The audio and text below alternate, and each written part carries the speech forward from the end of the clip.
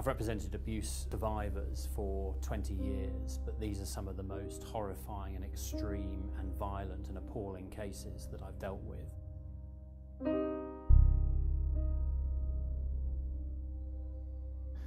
What really happened here was that young women tried to go to social services for help, they tried to get support in terms of getting out of this situation social services completely misunderstood what was going on. They, they, they thought, and it's portrayed very well in the film, um, that these young women, young girls were making so-called lifestyle choices, that they were choosing to be exploited in this way. The reality, of course, was that these young girls were subject to very extreme violence and threats of violence, and were in a situation where they needed the support of social services and the police to get out of this.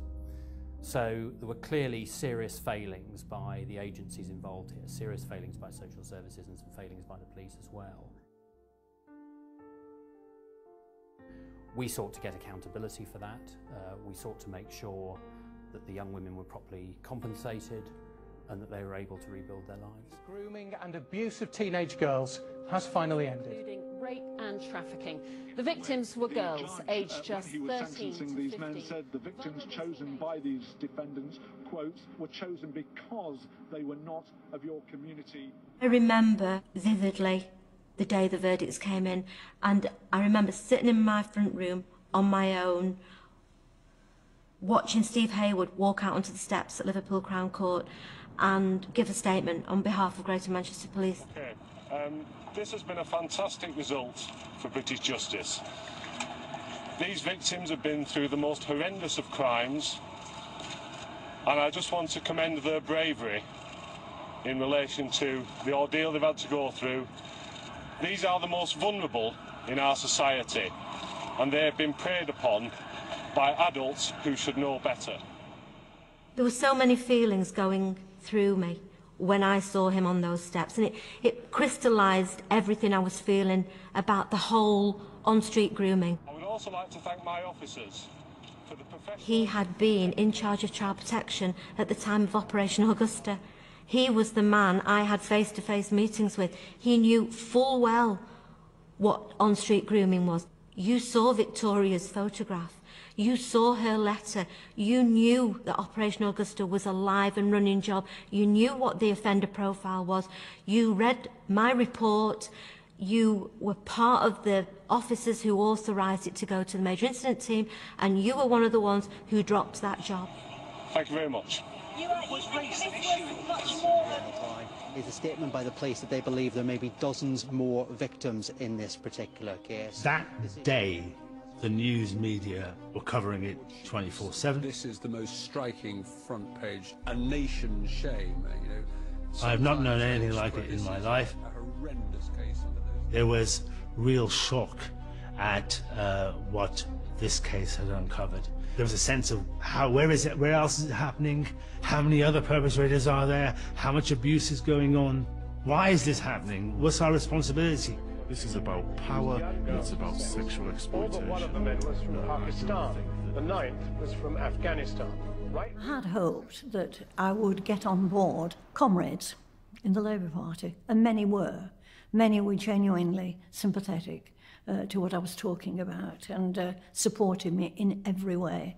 Uh, but there was a small number who uh, either uh, very openly or perhaps whisper, whisper, you know, sort of were saying things that uh, uh, perhaps I was something of a racist. And that was very upsetting. I'm absolutely convinced it was a, a political correctitude gone mad. Uh, you know, th- there was absolutely no reason for it. I was rocking the multicultural boat, but how do you get changes without talking about it? No, definitely not. When I left Greater Manchester, we had a, one operation with more than 200 suspects. And having my national responsibilities, I knew that there were thousands of suspects around the country and thousands of victims. So this is, as somebody said in your piece, the tip of the iceberg. Victims are coming out all over the country and offenders are being caught all over the country. Well, the vast majority of child sex abuse offenders across the country are British white men. Uh, in this Rotherham scandal, the National Crime Agency says that the majority of suspects, and I quote, are of Asian appearance. What do you make of that? Um, i gave evidence to Parliament about this some years ago. The reality is that where you have uh, street grooming of the type that we're talking about in Rotherham, as we did in Rochdale and Oxford and other parts of the country, Asians and Pakistanis are disproportionately involved in this. I've tried to understand it myself by looking at the demography, looking at the nighttime economy, uh, and I've asked for several people to carry out some research and correlations into what's happening. The reality is, though, that in, in street grooming, Asians are disproportionately involved involved. And, uh, and that's an issue not just for the authorities, it's an issue for the communities. So you'd agree with, you know, what seems on the face of it a pretty bold statement by uh, Sarah Champion, the local MP, the Rotherham MP. She says there's very clearly a problem in Rotherham with Pakistani males. We need to deal with that head on, and ethnicity should have no bearing on the law. Absolutely Do you agree right. Sarah's absolutely right. Um, the law should be blind to colour and ethnicity and religion. The reality is these men aren't driven by their ethnicity or their religion or their colour. They're driven by the fact that they want power and control over young girls. The fact is, however, when it comes to street grooming, Asians are disproportionately involved. But as you said, the most child victims are victims in the home or institutions or, on the, or, or in online, and they, they will be the perpetrators there will be white males. But let's say it again, Asians and Pakistani men are disproportionately involved in street grooming. And as a British Pakistani Muslim yourself, are you worried about taking such a robust stance on this? No, I brought the Rochdale prosecution. I led nationally on these prosecutions.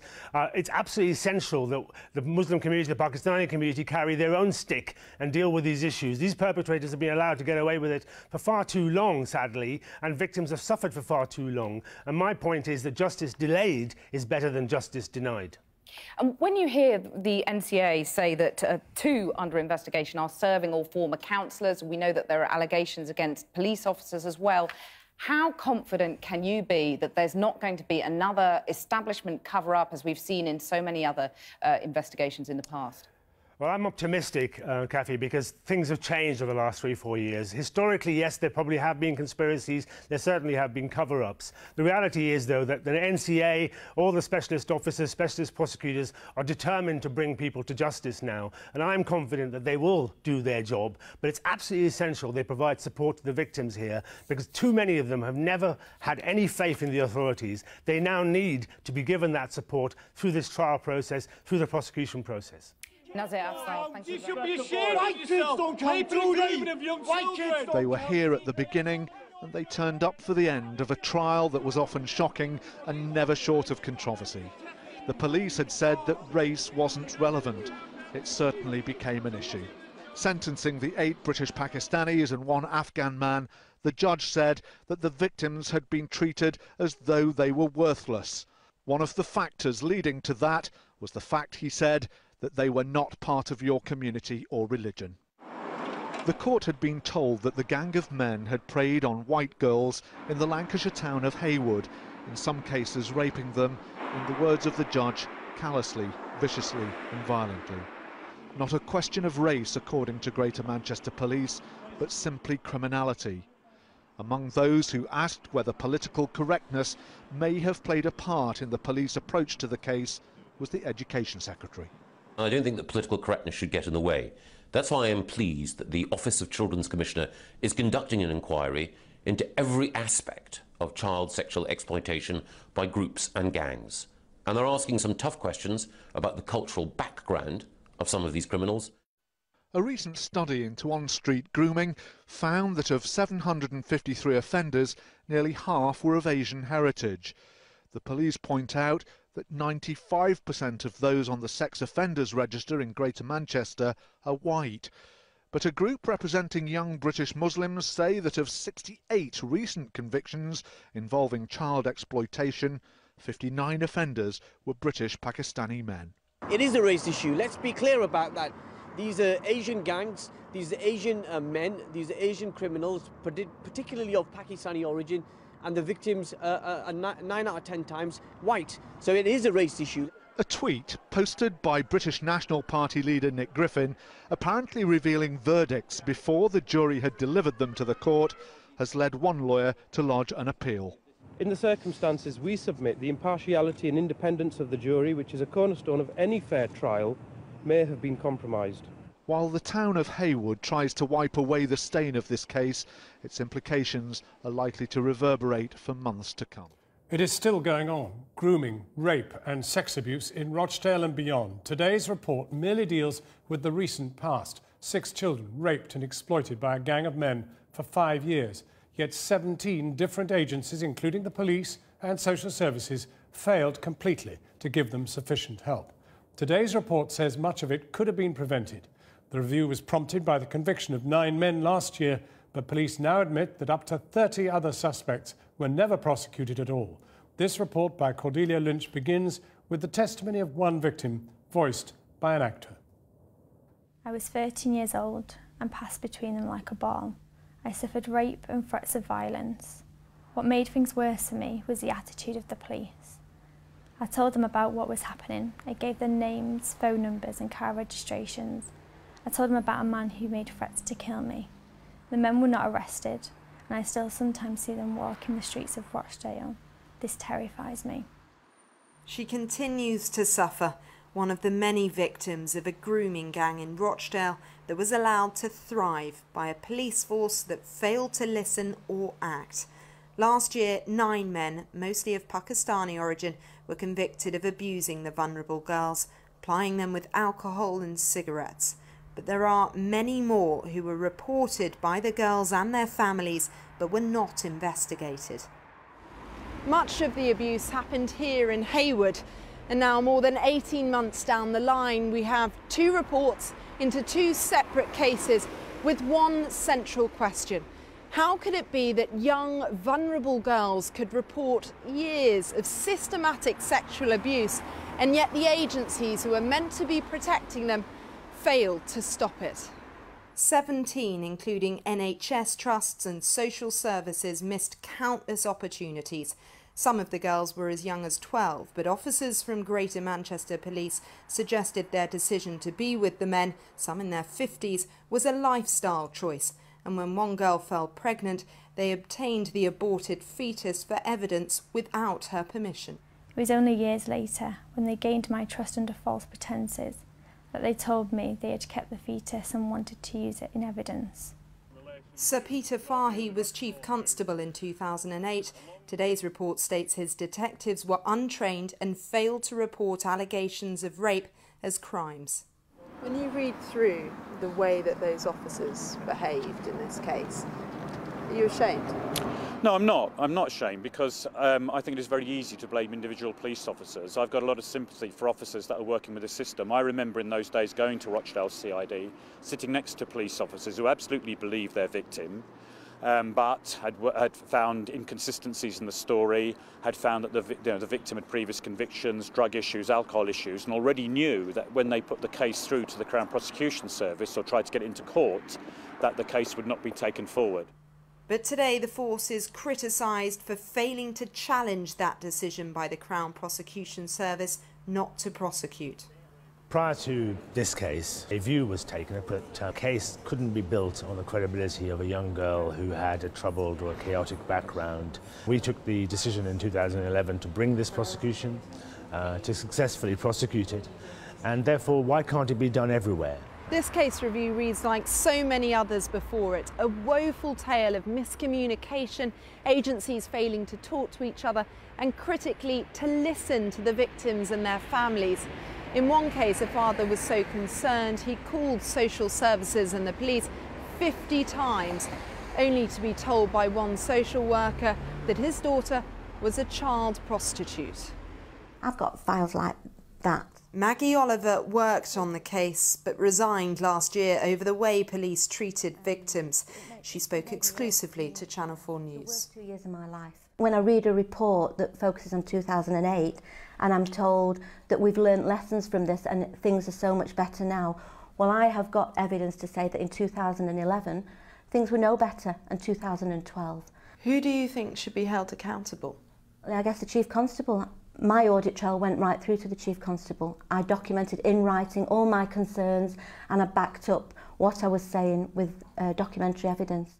Jonathan Bridge is the lawyer for three of the victims. I think even in the Rochdale case, you will be looking at hundreds potentially still out there preying on victims.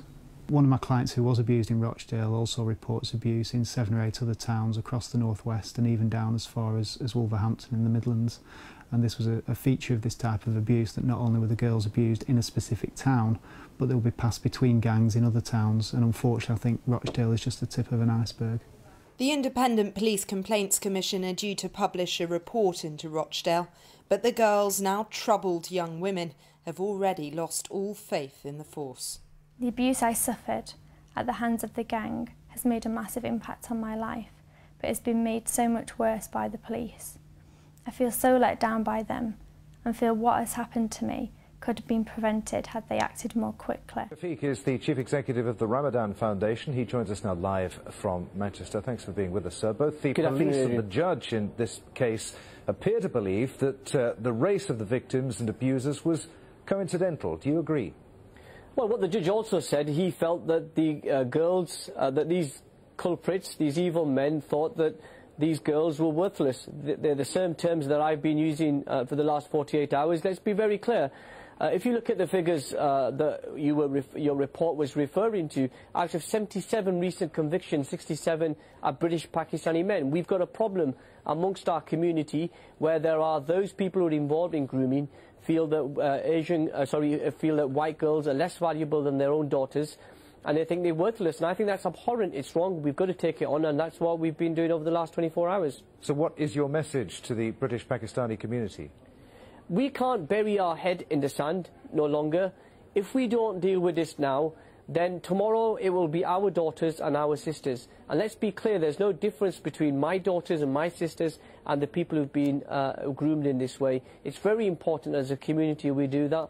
And actually, Adrian, over the last um, 12 months or so, I've been inundated uh, with a, a huge level of support from young British Pakistani people who are absolutely disgusted about what happens, but very clear that we will not allow the far right and EDL and the British National Party and other far right organisations to come into our communities and try to divide us on this particular issue. Uh, the police have been accused of failing to act in this case, as we were hearing, for fear of being uh, accused of, uh, of racism. What, what's your response to that? Well, I think there are serious questions about the conduct of Greater Manchester Police and the Crown Prosecution Service. One, one of these girls who uh, victims went to the police in 2008. She was told by the Crown Prosecution Service she was no longer a credible witness and she was sent back into an environment of abuse. And so there is, there's been an abject failure of the system in this country to protect young girls. And we must not allow that to happen again. And Greater Manchester Police uh, must uh, be very open and honest about dealing with this issue and should, there should be no sensitivity whatsoever about race. I say that as a British Pakistani uh, who abhors what has happened, disgusted by it, and believe there should be no safe hiding place in our community for these Right, people. You say there should be no sensitivity, but is political correctness, do you think, holding back any attempts to properly assess the role that race plays in exploitation crimes, uh, not just among the Pakistani community, but across all cultures and ethnicities in the UK? Well, I think what the problem is when you see the British National Party and other far-right organisations like the English Defence League demonstrating and, and whipping up hatred on this particular issue, then there are those in the police and local authorities in this country who feel they don't want to be part on the same line, on the same side as, as them. And I think that's a wrong attitude to have. We must confront this. This is criminality. This is uh, people who think they can uh, abuse girls in this way. It's child abuse, uh, and we must, uh, we must uh, not stop uh, in protecting our children. Thank you, sir. Mohammed Shafiq there Thank you. in Manchester. The trial has begun of 11 men accused of sexually abusing girls as young as 13 after plying them with drink and drugs. The prosecution claimed they acted together to exploit the girls in the Rochdale area. The men in the dock deny a series of charges, including rape and trafficking. Claire Fallon has been at today's hearing. Even before it started, this case attracted hundreds of protesters. With 11 men on trial, most of them taxi drivers and takeaway workers. Some face rape charges, others are accused of sex trafficking.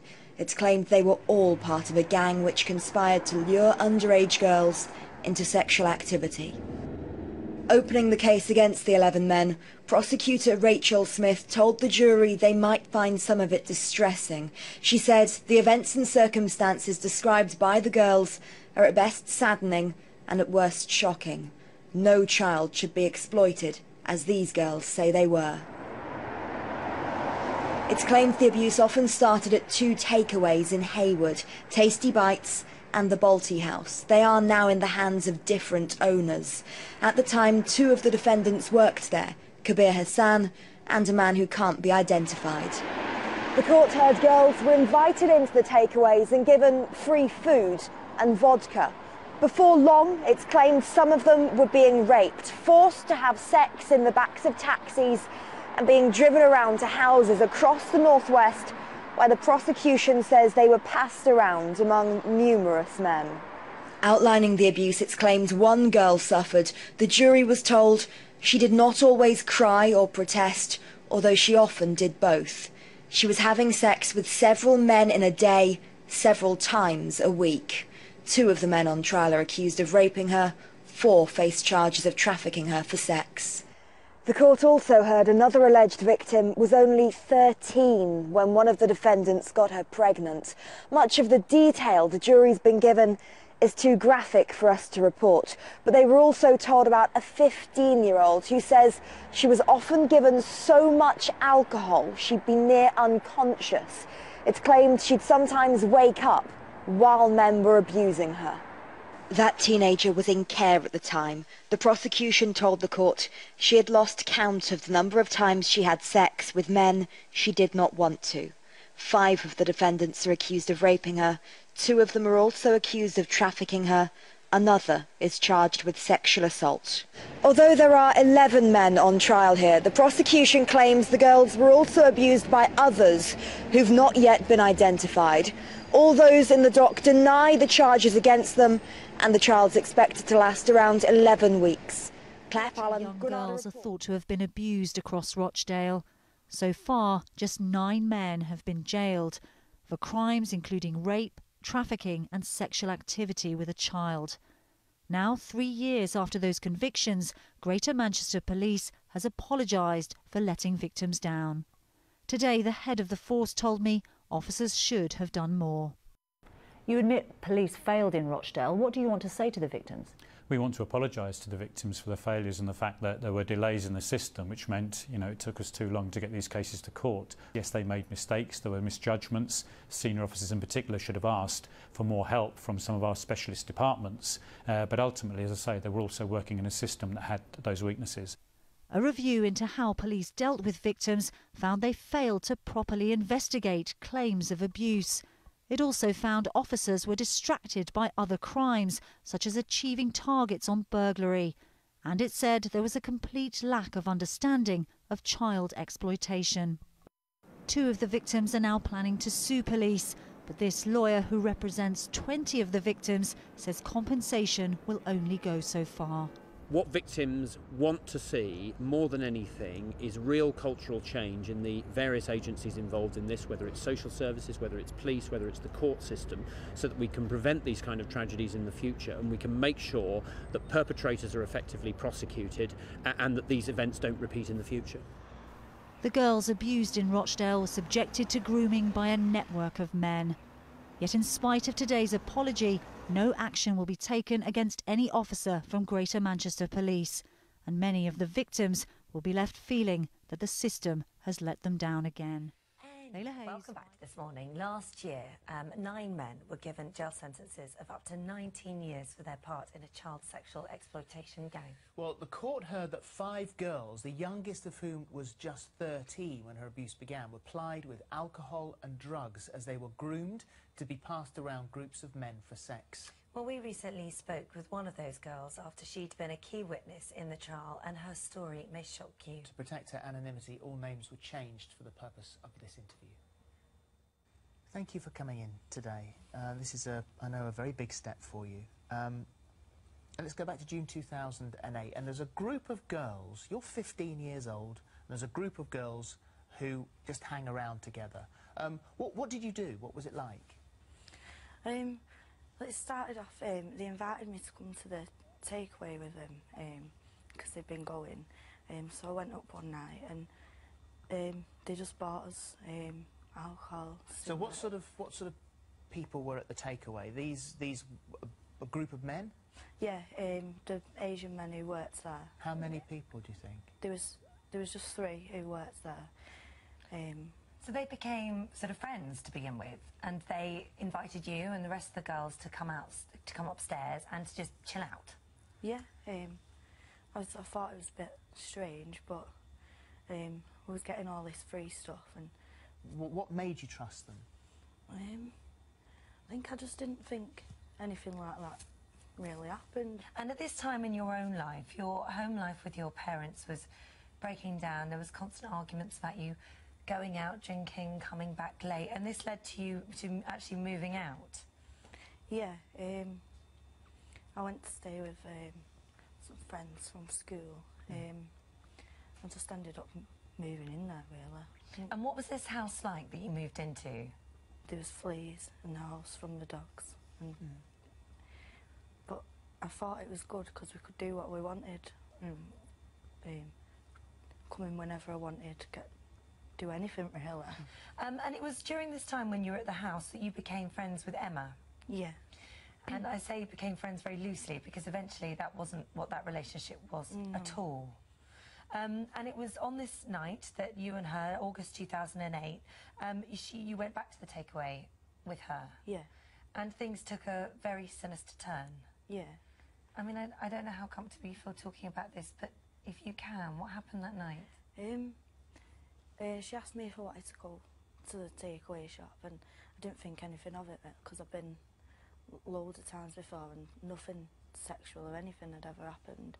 Um, so I went, um, and we was there for an hour or so, and he, one of the men, asked me to go upstairs, um, and they started um, asking me uh, about well, basically saying that he wants something in return for the, all the things what he's bought me. Um, and then I said no, but he started being um, like, aggressive about it, and then he did what he did. He raped you? Yeah. And then uh, he came in with a £10 note. Yeah. Um, and he said to me that um, I was a special girl and not to cry. Um, And when you went downstairs, um, she was laughing, Emma was laughing. Yeah, she just thought it was funny. She knew that I was, well, I was still crying. just She knew it it was a going to uh, knew it was going to happen, though, didn't she? I think so, yeah. I didn't think know that at the time, but looking back on it all now, yeah. And that's not where it ended because later on you were driven to a, another flat and you were forced to perform oral sex on another man. Straight after that, you were raped by yet another man. And this time it was Emma that came in and gave you the money.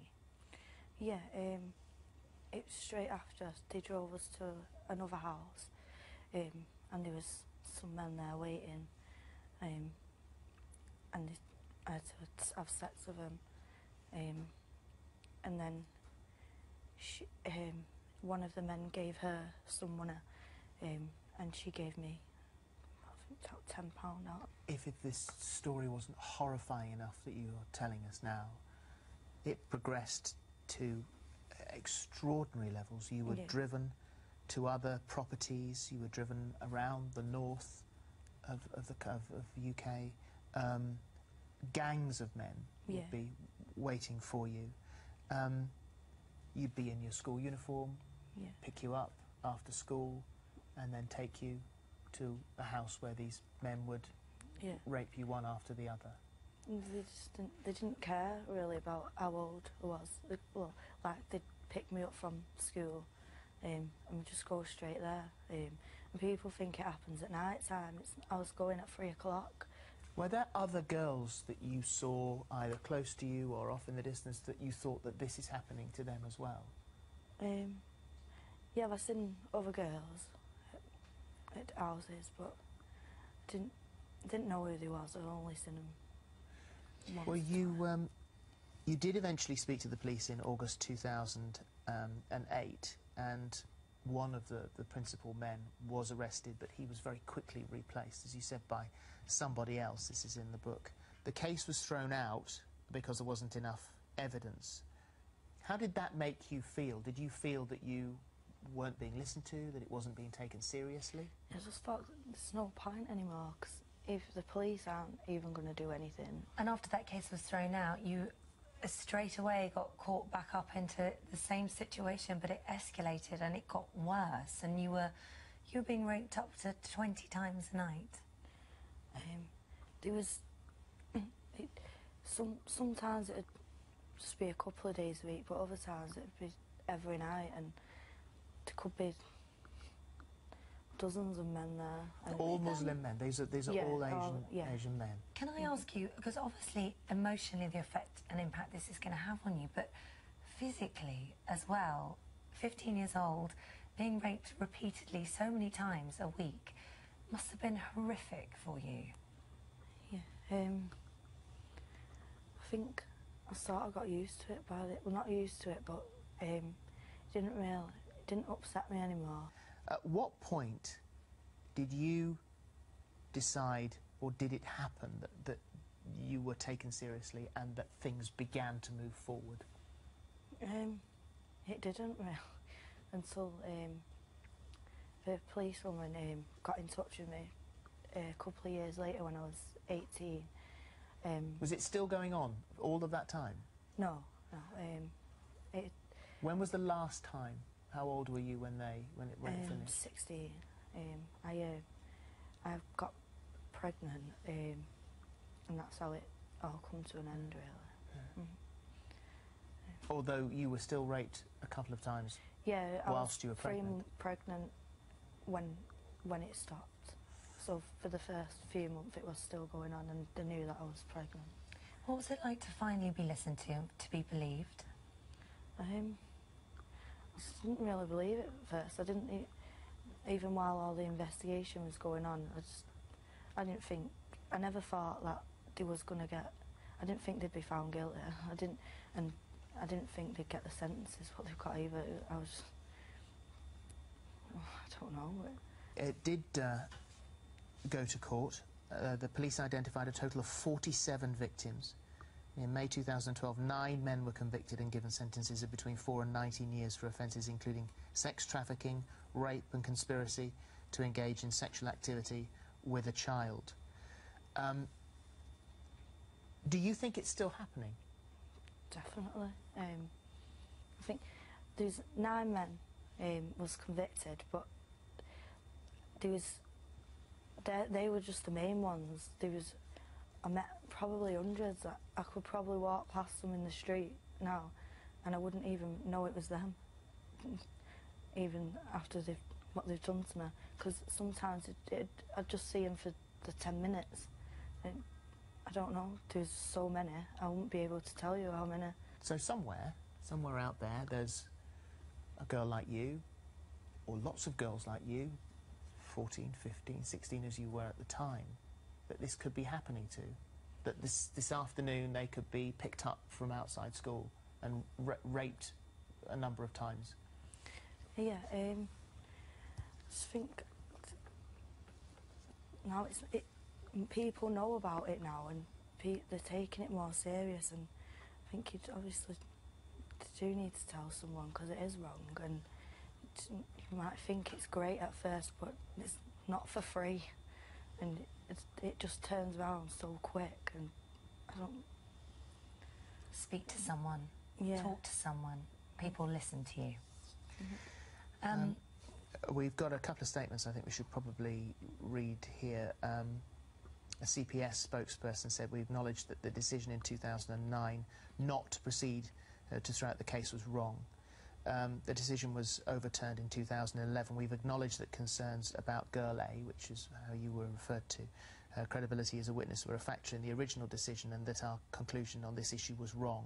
There's been a fundamental shift in the way we now approach these cases and the Greater Manchester Police say we want to make it clear that it's not acceptable for any police officer to appear disinterested in a victim who is confiding in them about what has happened.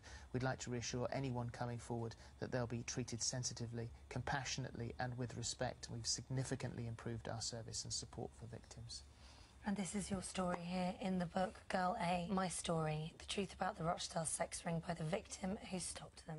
They were groomed by men who targeted vulnerable girls. But these victims, some as young as 10, were written off by the very authorities that were supposed to protect them. That's the verdict of a report which outlines years of failings by police and social services in Rochdale. It was ordered after nine members of a child sex abuse ring were jailed in May. Our social affairs editor, Jackie Long, has spoken to the family of one young girl who says she was passed around like a piece of meat, but that nobody gave a toss. On the streets in towns across the northwest, children were being raped and brutally sexually assaulted by a string of men. And in the offices of the services supposed to be protecting those children, precious little was being done to stop it. She was being raped on a regular basis. Um, she was being held um, in rooms where there was um, men coming in one after the other to abuse her. The thought of such a young child and I say child because that's what she was. Um, her childhood has been taken away from her. Marie's daughter Sarah was just 12 when she was befriended by the young men who would eventually be the first of many to sexually exploit her. As she went missing for days on end, Marie realised she was in danger and begged the authorities for help. I went for child protection in my area. Um, I never got one phone call back. The school were well aware of it. I'd gone to the police in the area where I lived. Um, very little was being done. Um, it was as though it was all just brushed under the carpet. I don't think services knew what to do um, because it was of um, an ethnic nature and by that I mean these the perpetrators that was doing this to my daughter were of an Asian background and I think for race relations they didn't want it to be aired Unable to protect her child from the men, she voluntarily put Sarah into care. To force the hands of social services to do something, and that's what we had to do. But she wasn't looked after in care. No. This didn't stop when she was in care. No, if anything, it got worse. Um, the men were waiting outside in cars. Um, she was being asked to take other girls. Yet the police would, um, at one point, said they could prosecute my daughter for coercion. Yet she wasn't able um, to break free from these people. This went on for us for five years. And it's only now my daughter's recognising that it wasn't her fault. Much of the abuse happened here in Heywood.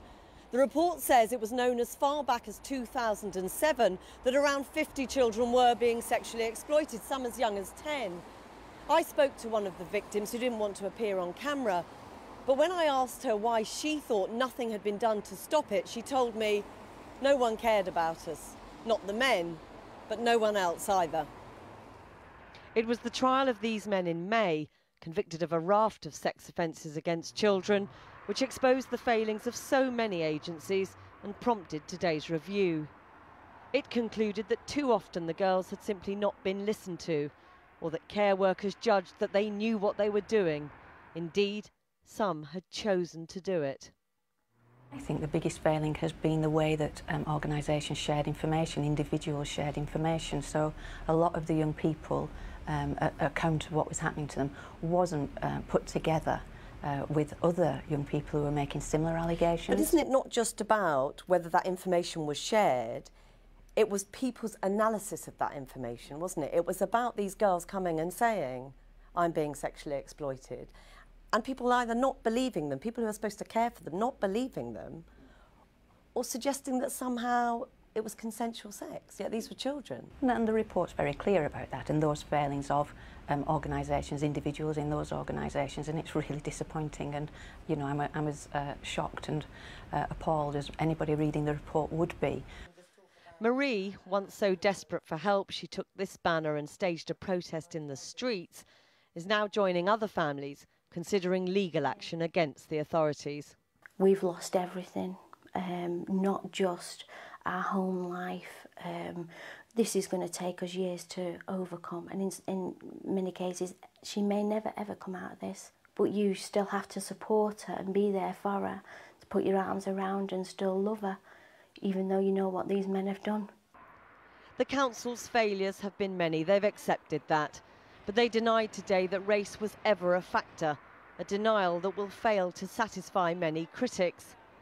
They have accepted, though, that their appalling refusal to listen to what children were telling them left children in the hands of brutal abusers. It is still going on. Grooming, rape, and sex abuse in Rochdale and beyond. Today's report merely deals with the recent past. Six children raped and exploited by a gang of men for five years. Yet 17 different agencies, including the police and social services, failed completely to give them sufficient help. Today's report says much of it could have been prevented. The review was prompted by the conviction of nine men last year but police now admit that up to 30 other suspects were never prosecuted at all. This report by Cordelia Lynch begins with the testimony of one victim, voiced by an actor. I was 13 years old and passed between them like a ball. I suffered rape and threats of violence. What made things worse for me was the attitude of the police. I told them about what was happening. I gave them names, phone numbers and car registrations. I told them about a man who made threats to kill me. The men were not arrested, and I still sometimes see them walking the streets of Rochdale. This terrifies me. She continues to suffer, one of the many victims of a grooming gang in Rochdale that was allowed to thrive by a police force that failed to listen or act. Last year, nine men, mostly of Pakistani origin, were convicted of abusing the vulnerable girls, plying them with alcohol and cigarettes but there are many more who were reported by the girls and their families but were not investigated. Much of the abuse happened here in Heywood and now more than 18 months down the line we have two reports into two separate cases with one central question. How could it be that young, vulnerable girls could report years of systematic sexual abuse and yet the agencies who are meant to be protecting them failed to stop it.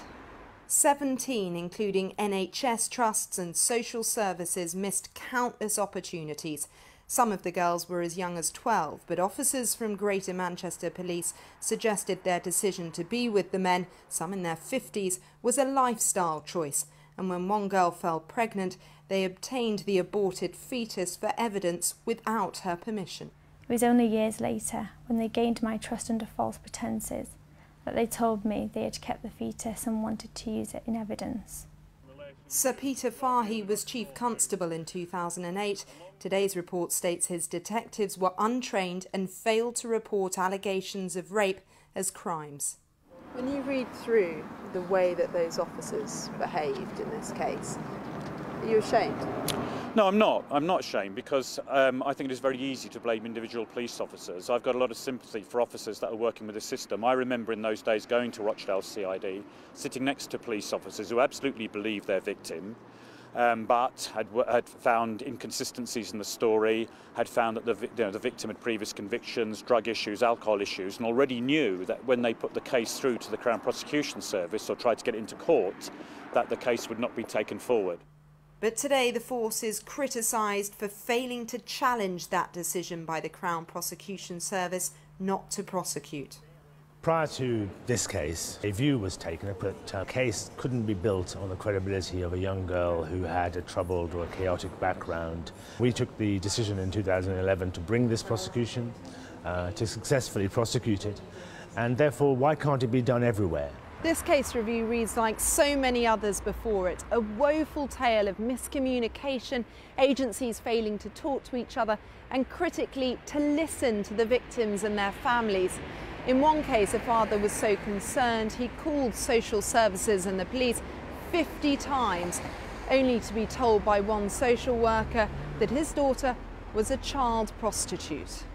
I've got files like that Maggie Oliver worked on the case but resigned last year over the way police treated victims. She spoke exclusively to Channel 4 News. Two years of my life. When I read a report that focuses on 2008 and I'm told that we've learned lessons from this and things are so much better now, well, I have got evidence to say that in 2011 things were no better than 2012. Who do you think should be held accountable? I guess the Chief Constable my audit trail went right through to the Chief Constable. I documented in writing all my concerns and I backed up what I was saying with uh, documentary evidence. Jonathan Bridge is the lawyer for three of the victims. I think even in the Rochdale case, you will be looking at hundreds potentially still out there preying on victims. One of my clients who was abused in Rochdale also reports abuse in seven or eight other towns across the northwest and even down as far as, as Wolverhampton in the Midlands. And this was a, a feature of this type of abuse that not only were the girls abused in a specific town, but they would be passed between gangs in other towns. And unfortunately, I think Rochdale is just the tip of an iceberg. The Independent Police Complaints Commission are due to publish a report into Rochdale, but the girls, now troubled young women, have already lost all faith in the force. The abuse I suffered at the hands of the gang has made a massive impact on my life, but has been made so much worse by the police. I feel so let down by them and feel what has happened to me could have been prevented had they acted more quickly. Well, former Detective Maggie Oliver joins us now. Good morning, Maggie. It's lovely to see you. Well, Thank you for joining us today. Um, for us, for those of us who were so stunned and shocked by what we saw on the news and read in the papers, we thought when those guys went to prison that that might be the end of the story, that there was a little bit of closure for the country. Uh, it would appear, certainly looking at your book and listening to you speak, that that is very far from what you believe to be the truth. Very much.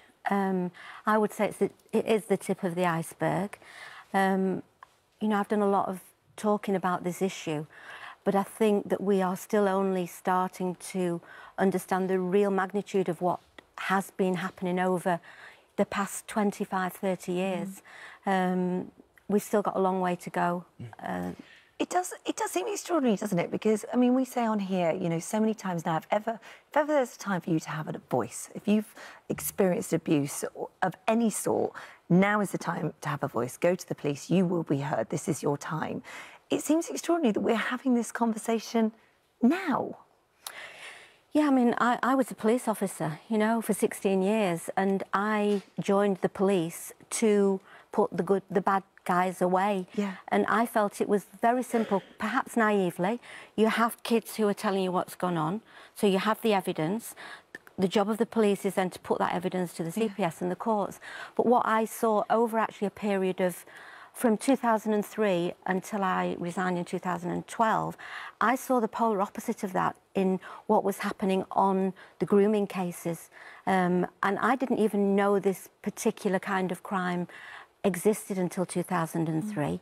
But um, the government and the politicians knew full well about it in the mid 90s because Ann Cryer was the MP for Keighley in West Yorkshire, and she was banging on doors in, in the in the mid 90s. So why why are doors being slammed in your face when you're trying to open them and shout loudly? I don't understand. I, I don't think. I mean, my- it's very difficult in five minutes to explain the full, um, Yeah, of the full course. reasons Well, for it's that. all- it's all in the book, and I, I've tried to make it very clear as to what I think. But I think that this it's not a one-word answer. I think there's a lot of reasons why um, the politicians and the chief constables turned a blind eye to this kind of crime. Um, one of the reasons is that these kids are very vulnerable.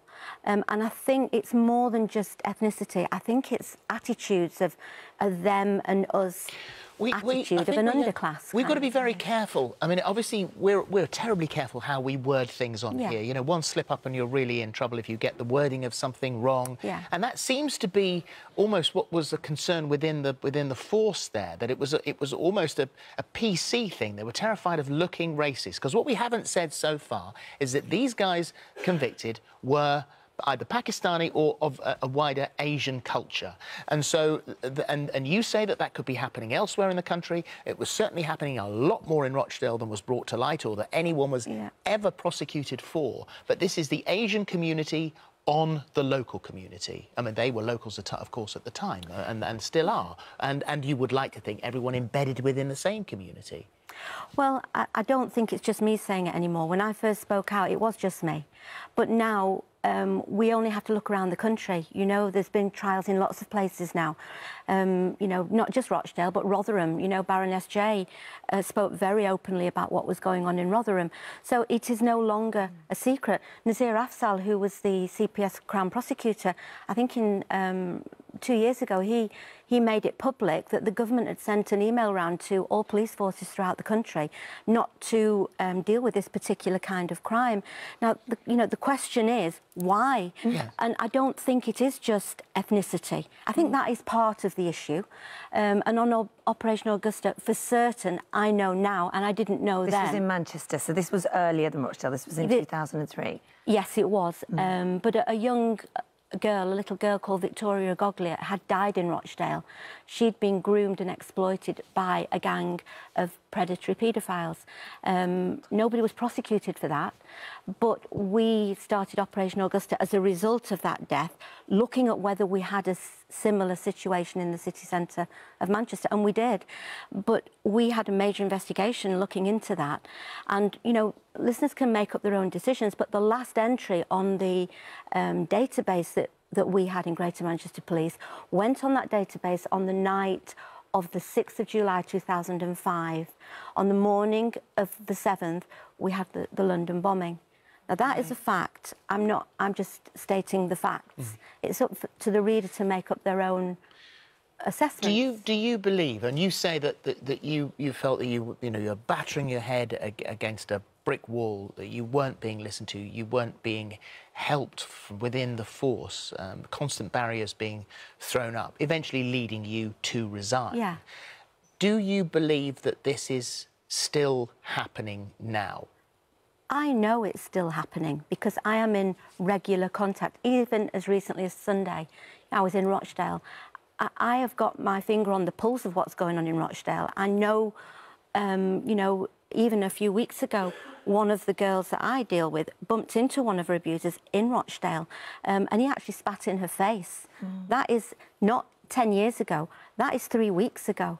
So, you know, I I, I sound a little bit like a broken record to oh, myself. But you are. But I'm trying I mean, to move. You, yeah. you just want to keep shouting it from the rooftops because it must be so frustrating. And uh, yeah, because somebody who got into the police in the first time, like you started this conversation saying to yeah. lock up the bad guys. Yeah. What does that do to you personally? I mean, you, you, you've lost a job which you strongly believed in. I, I loved my job. You know, it almost destroyed me. And I think what I mean, what I hope my book um, explains is what I am like as a person. And I am not a bitter and twisted person who wanted to make a fuss. I saw something that was happening. Um, I've got four kids of my own. And what I saw happening to these kids was just wrong. Mm. And if I had, I tried, I didn't want to resign. I was 15 months still within the job when I saw for the second time a job being shelved. And I spent 15 months going to everybody, from chief superintendents to the chief constable to the Home Office, the IPCC, and nobody wanted to do anything. And then you, you're faced with a stark reality, a, a choice. You either speak out or you carry on and do nothing. And, and I couldn't look myself in the mirror knowing what was going on um, I wanted my conscience clear. And 30 years down the road, when my kids found out that I didn't speak up, mm. um, I wanted them to know that I'd tried. Yeah, yeah. I, but I didn't know it would go this far, Holly. Well, yeah. um, well done, you. the Greater Manchester Police have said to us, uh, following uh, learning taken from Operation Span, Greater Manchester has worked tirelessly to improve its response to tackling CSE, that's child sexual exploitation, to ensure high standards of service and consistency in practices across Greater Manchester. Um, we're seeking, constantly seeking ways to, in which to evolve and improve our practices. Um, thank you very much indeed for coming in. This is this is the the story. This is what we're talking about. Maggie's books, um, fighting for justice, survivors, um, and uh, and as I say, it's a very complicated story, but it uh, it Can is I all just say there. very quickly that um, I've started my own the Maggie Oliver Foundation.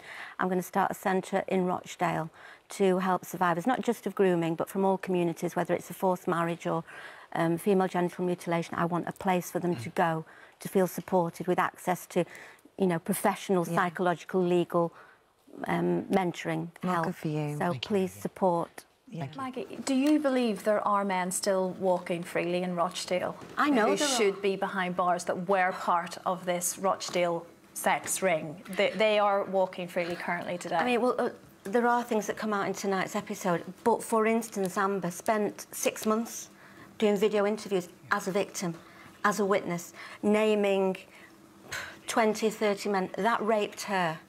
And it took her an awful lot to put a trust in us because she'd already been arrested at the age of 15. So the, the little bit of the interview that's shown in the drama was actually perhaps a 10, 15 minute part of hours and hours of interviews. That is the only time that she was, it was her first interview and she was testing the water. Yeah. Um, but of all the allegations that she made, all the men that she named, there is not one record of those allegations. Nothing was crimed. I just can't believe- it. I can't believe And it. I can't This has believe it happened to a couple this of day. years ago. Not one of those allegations was crimed. Not one of those men was arrested and interviewed in relation to the abuse of her. And they had the addresses. And they had the. She did a list of numbers with Ruby. Ruby was being abused by that man at the age of 12, actually. Oh, my God. You know, he got her pregnant when she was just 13. And even that man, we had a fetus that she didn't know the police had seized. That, that was what I was, one of the things I was tasked to do, to go and tell Lorna, Lorna yeah. and, um, and Ruby. But that was your brilliance because you might. That's why I we we formed our lovely friendship because there's a difference between being a copper and there's a, there's a difference between someone who you can trust. And I don't know what you have within you to get those girls to be able to open up. And I know we're indebted to you for, Yeah. for letting that happen. It's true. It's true because that's not being a policeman. It's not. That's in you. What- What I would say, yeah, it is. It's, it's about being human and caring. Now, um, but there are a lot of police officers with those skills. It's just that the, the powers that be do not allow them to um, to put the time in and the effort, and you know that they're looking at a, a quick hit and move on. And is it convenient? We need radical changes, and that isn't just the police, that's the CPS, because the CPS overturned uh, the decision to drop Holly in 2009. And apologised for Yes, but they actually repeated that same mistake, in my opinion, with Amber, because they put her through months of interviews and then changed the mind. And more than that, they then added her onto the indictment as one of the group of paedophiles mm-hmm. without arresting her, without cautioning her, without interviewing her, without giving her access to legal advice or a solicitor, without telling her what was being said in court. And then, I'm sorry, but and then we're trying to take her children off her because she'd been named as a paedophile. And to me, I can't get my head around it to this day. Maggie, I have to ask you. I mean, some have alleged um, an eagerness not to appear racist um, meant that I'm police and social. Oh no, absolutely not. But meant that um, police and social services were unwilling to almost deal with this. Do you feel that was an issue in those early days? All I will say is that the law is the law. And if a man, whoever that is, whether it's Jimmy Savile or whether it's the Catholic Church or whether, if a man of 40, 50, 60 is picking schoolgirls up from school and having sex with a 12, 13, 14 year old girl, he is a paedophile. Yeah, yeah. Yeah. And, yeah, um, and, and I don't know why senior police officers needed convincing of that. Mm-hmm. They are the people who make the decisions. Um, and I was told before I resigned, what was said to me was, you know what? Senior police officers make decisions, and if you can't accept those decisions, then maybe you're in the wrong job. Mm. And that's what made me resign because I felt that this had to come out into the public arena to bring about changes. And I also believe that senior police officers should be held accountable for failing to act. Mm-hmm. You know, knowingly you know, um, knowingly. And uh, the other part of it was I was looking at Hillsborough and 30 years of trauma for all those families that people make mistakes. And I, I know that. But you hold your hands up and you acknowledge your mistakes and then you can start to put them right. They still don't acknowledge those mistakes. When you were right in the thick of everything, yeah, there must have been moments where you felt not only not heard, because that's being categorical, um, but you must have felt that you were going mad. Oh yeah, no, that's absolutely that's that's the exact phrase. Yeah, really thought that I was the wrong one, um, and that yeah, uh, I was going mad. Well, I did go mad. I mean, that's a technical term. I did, you know, uh, really kind of my mental health really did suffer. Um, because actually, you just fa- I was just faced with an incredibly high wall that was I, I couldn't get over, um, and lots of people were not seeing the things that I saw. Um, and not acting when you were doing the correct thing and making calls and taking notes and giving evidence. Yeah. Nothing was being done. That's right. It, it was quite an isolating position as well Yeah. to be in. So, do you feel before the case? Obviously, we said they're a decade, but obviously, I know because of three girls, and, and and it's been heavily documented in the press. But the warning signs were they there about sexual grooming? Did you had you had that experience in your job before this case? Before? It's, I, I don't think that um, sexual exploitation in Rochdale happened just simply because we were there. It was almost kind of given a name, almost even after the court case. I absolutely believe that there were uh, scores of young people before our team existed who were being abused in exactly the same way. Absolutely. What's happened as a result of your struggle to get justice for these girls is that you uncovered something that was happening all over the country. Yeah. And that what what it seems to me is so shocking is that what has ha- what happened in Rochdale that culminated after a decade of your life and eventually a, a long trial and the girls not being believed and then being believed and you uh, you know taking so much flack for it then we discover all over the country in city centres this is still going on That's right.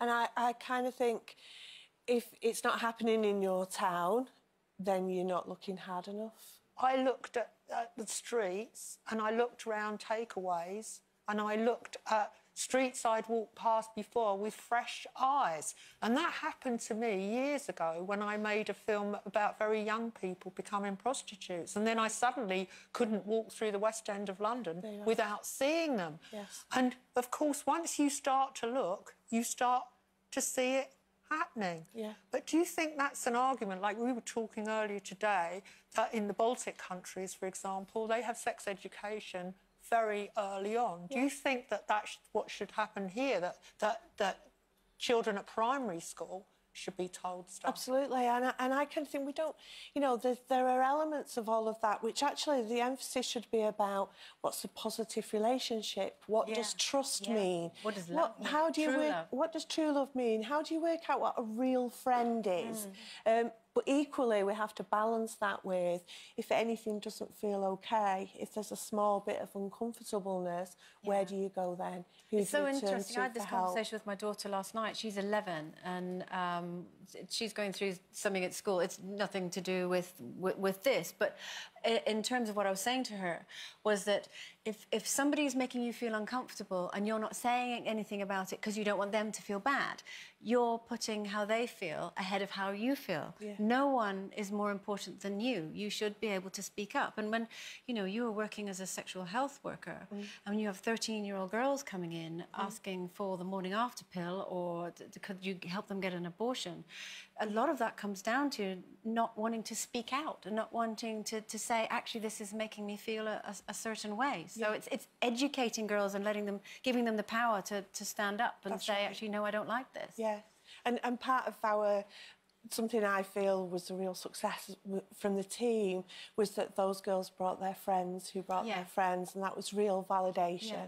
And I also kind of think there's an awful lot of mothers who've approached us over that period to say how grateful they were that we were there in the first place. But it was a very dark time, and, and I know that because of the scripts Yeah. and stuff. But who was there for you, Sarah, when you went home? How, how it was a very dark time for you, wasn't it? And that's what worries me. How did you deal with that? Um, I know it's this. Uh, you see, my, my mum died just before the drama was shown. My mum was like everybody's. Your mum's usually your rock, um, and my mum was my rock. Um, How are you going to go forward now? I mean, do you feel that you can?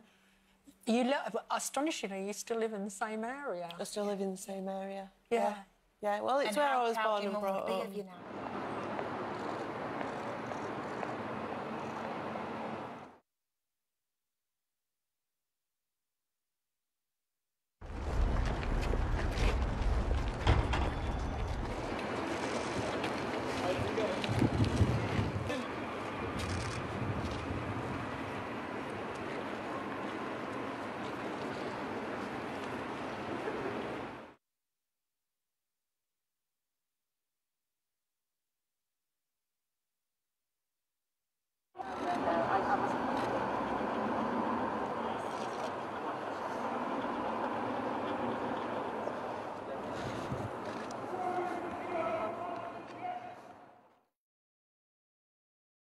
Okay guys, how you doing? Red Pill Phil here with Billy from PAG UK.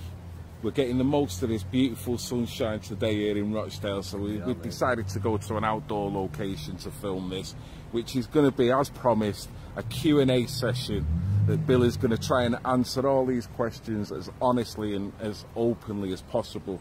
And there's uh, no questions that are going to catch you out here, mate. It's just questions that have been laid out through the comment section. Oh, we're up nice and early, me, Phil. Oh, he's ready for it. the early bird gets away. It's like five days late, so I've had plenty of time Yeah. to think about it. Right, so you've probably had a look at them all anyway. He's got I've an idea. some, but I don't mind answering them again for everybody else. Okie dokie. Right then.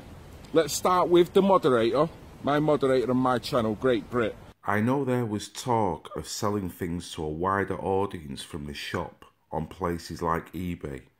Did that ever happen? We gave it a go. We opened a PAG UK sales group. However, boots on the ground, timing, case loads, it's just not been viable. Um, it's something we want to do, but we need we need some more help with boots on the ground. Because these are all great initiatives, Yeah. but it's having the people in place That's to do it. See, at the moment, um, it's a case of I've got my fundraiser, I've got my support team, I've got my treasurer, I've got my secretary, and they're all the same people. You know, so You can't diversify too much when you haven't got the, the bodies there That's to it, deal with know, it. you Otherwise, you get nothing done to a degree, I guess. don't get me wrong, I'd love millions of pounds in the bank so I could designate all these jobs that I've got Yeah. that I know need doing. And it'd be a, an efficient machine. Of course, yeah. It- it so, makes in a so sense, answering this question, you'd almost see not your flaws, but where you could improve, but at the same time, you can only work with what you've got, I That's as it, well. yeah, just- you answered it better than I could, bro. I mean, you, know, you can only give what you've got, you know. You Yeah. can't give what you haven't got. You know, Yeah, so. and you're trying, mate. Yeah, yeah. So there you go, great you know. Brit. Rochdale's looks like, well, I, I, you know me, I want it everywhere, you know. So. Yeah, and people on here know that, mate. I Honestly, know, you'll get. I'll get to some of these questions, and they'll be putting you on guilt trips even Oh, more, mate. no, if he hasn't. As soon as they hear another area, I think, why, why are we not there already? On And that's does. what these guys think soon as they're watching it because they know it's an initiative that's working. But let's carry on, mate. Gordon Roofton, Are they speaking to any MPs? And if so, how proactive are they? So, well, where- where do I start? The first person, the first MP I went to see was Tony Lloyd of Rochdale. Tony Lloyd was the former police and crime commissioner for Greater Manchester, lost out in the mayor run against Andy Burnham and parachuted in here as Rochdale's MP. Let's just stop there. Tony Lloyd oversaw Rochdale's grooming scandal. Anywhere else in Greater Manchester that got hit with a scandal, Tony Lloyd was Chief Bob. Um, so I think he's part of the cover up of what happened here in Rochdale. So then he ends up as their MP, so I goes to see him. And the first thing I ask him about is Knowl View and Cambridge House. Mhm. Then I addresses the grooming, and the same answer to each of the questions was the past is in the past. Well, that's the worst thing you can say to a survivor. Sure, it is. Um, There's no acknowledgement there. The worst survivor to say that to was me. Certainly. so, you know. Yeah. uh, and that's been their stance ever since. ever since. No, no, we never got a second showing because because how it was told in that first meeting, Mm. you're out of order, you're wrong on this. You need to go away. You need to do your homework. You need to do your research. You need to come back and meet me again, and we need to discuss it again. When I went back for the second appointment, we was told, "I'm no point having an appointment with you because the first one wasn't constructive at all." So therefore, I don't see no need for a second appointment. Wow. Nice. Nice. That's mm, the one and only MP So when you- Rochdale that I spoke to. When you know that you're one of the major organisations in Rochdale that's primarily looking at survivors and empowering survivors, for him to disregard you in that way and say that you're not really worthy of a second meeting, what does that say to all the survivors, Billy?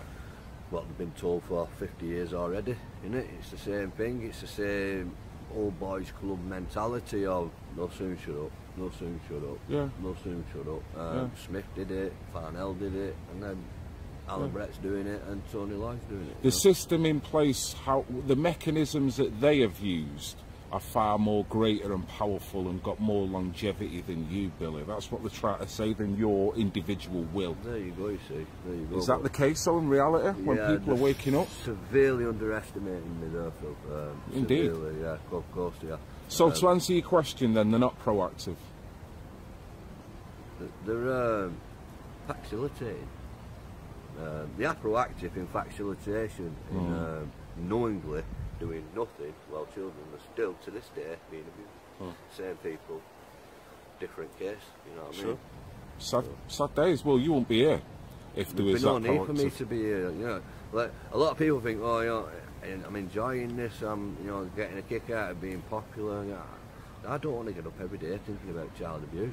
There's better ways of being popular. Play a guitar. You know, the, I that's something that I, I argue myself with because of how when I get a case now, I'm not falling to pieces. I did that first in the early days, but now I'm not falling to pieces, uh, and I kick myself for that, saying I'm normalising it in my head. Do you know what I mean? Um, but it's not the case, guys. You, every case is a turmoil to every member of my team. Do you know what I mean? So, yeah. no, he's not proactive. He's useless. Right, the next question is by Stephanie Parker. What kept his motivation when I feel sure the whole of the system was against him? Also, how do I donate? All right, that's wonderful. Um, first, what fears the fire in the belly? Um, it's easy one to answer, but it's hard if you know what I mean. Um, I'm a survivor of abuse myself, um, so there's where the fire starts. But that's not what feeds the fire. What feeds the fire is the success we've had. And when I say success is, since April, there's been 29.5 years of prison sentence handed out to people. Um, that feeds the fire. What else feeds the fire is people coming into the PAG UK asking for help, speaking to us. That feeds the fire. And the amount of success we've had with helping people, change people's lives. I've had a young girl there last night said, saved their life, saved my life. It's like these, like these guys. This this place has saved my life. And I've heard her say it once or twice now. And a lot of people just see it as a off the cuff remark, but Mm. actually, No, we, we believe done. we saved her life. Mm. Do you know what I mean? Because of where she was at the time, Mm. where she is now. If you can save someone from violation, sexual violation, mate, you have saved a hell of a lot of trauma. If you Yeah, can be yeah. pre- preventative, or even if that has happened and you can be there to be an arm that reaches around them and help them. I mean, that's, probably the main thing we do um, is aftercare. Um, we're massive on prevention, and there's not many groups like ours that are big on prevention. Um, to the point where we're out on the streets every night. Mm. Um, there's not enough of us to do that. Well, let's going back to the first question. Of course, you know, I'd love to be able to walk into a building at six o'clock and have ten guys to say, right, there's four teams of three, you know what I mean? Or just, you know, bad maths that, but you know what I mean? You Mhm. know? And then, oh, it'd be so much different. We'd be able to s- s- cut it in, in half even, in Mm. half, I reckon. We have done that in Rochdale. I've been told unofficially what PAG UK is doing is cut in terms of offences in half. This is another question by No More. Are there any plans in place to have a PAG UK centre in all major cities, towns across the country? One of our desires is to roll this model out right around the country in places where it's needed. So this brings us, uh, we have tried it already in Accrington. Um, unfortunately, it's been a complete block by Hyndburn Council. Um, the set goals we cannot meet. Um, the sales on the place aren't doing too well, so it's not covering the rent. So we've had to make the tough decision, heartbreaking decision, because CJ and Jack, you work on Acton, have worked so hard. I've had to pull the plug on Accrington, so it's no longer going to be. However, I don't want the people of Accrington who watch this thinking, oh, what about us? Because I promise you now, I pledge, we have not forgot you, we're not going to leave you. We're going to run surgeries from our tea rooms in the centre, so we're doing a couple of weeks maybe, or a couple of months you know, but we will be active in Accrington. We're not leaving you, we're not giving up on you, we're just because of your council, we've had to scale it back from having a walking centre. However, that might return one day. Um, Mm. But at this point in time, it's just going to be down to surgeries and contact via Facebook. Anyone from Accrington with any issues, feel free to get in touch. Um, See, this is a frustration with a whole lot of subbers of mine. They, they feel that what you're doing is so efficient and so professional that they want you where they live. Yeah, yeah. That, that is all they're really saying. Now, Yeah. that to me is the best compliment anyone Of could course, give you. of course. When are you coming to us, Billy? Why aren't you coming to us? I know you must be thinking, for fuck's sake, I can't do it all, guys, because you can't. No, You're know, struggling in Rochdale. because I want to. I really, really want Yeah, to be able to go to all these other But going back to the first question again, Yeah, resources, money, people Money- you can trust that are going to do it. We're actually in the process of setting up uh, an application to become a registered charity. Now, let me explain to those people who are watching and saying, well, why is it not a charity already? I've been, I've had the shop for 12 months, PAG UK is eight years, no, bit, you know, seven, six, seven years old, you know. The reason why is I don't trust the system. I will not, for the sake of having a cash injection, not be silent, if you get what I mean. So if we take the funding that comes by Rochdale Council, that's only going to come if we stop talking about Rochdale Council in a bad way, which is what I've always Mm. done. Um, I've exposed and exposed and exposed to no effect yet, but I've still kept exposed and exposed. And the only joy we've had is Richard Farnell jumping, jumping ship, you know. But if I'd have took 10 grand off them to run PAG UK, I'd have had to stop all that. Yeah, there's So, an element. It's, I it's like a little bit of buy-off money to a degree. It Yeah. can be. Tony Lloyd was Yeah. MP for. Tony Lloyd was crime commissioner for, but he's Rochdale boy was Peter Fahy. When Peter Fahy was moved on, he was moved on to the Charity Commission. So therefore, I wasn't going to go and ask him for money.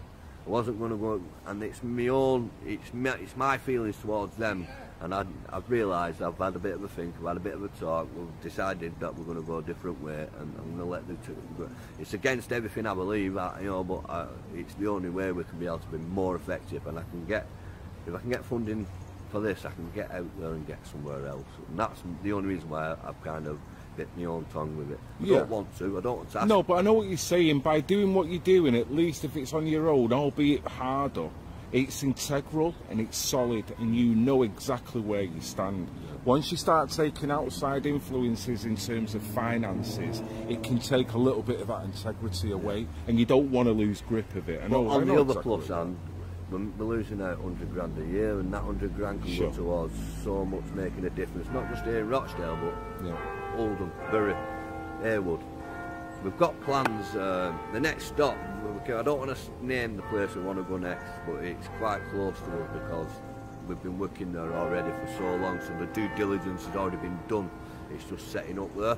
But there is places like Oldham, Bury, Stockport, you know, other places where we really want to go, we really want to turn up, you know what I mean? But Mhm.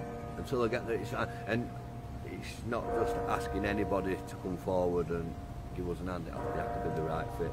You know what I mean? Sure. And we've got to be fussy. Uh, It's it's got to be done right. Yeah, yeah. Otherwise, sometimes, for the sake of doing it, it could actually be detrimental and non-productive. Well, so- I've made that mistake. I'm learning by my own mistakes because Mm. I've let people in. I'll trust anybody um, at first glance. You know what I mean? I'll give anyone a fair crack of the whip. Mm. Um, and it's come back to bite me on the arse a few times. So now I've had to take recruiting route volunteers off me, off my because I'm too. I, and I've had to put someone a little bit more strict on, on the case. You know what Yeah. I mean?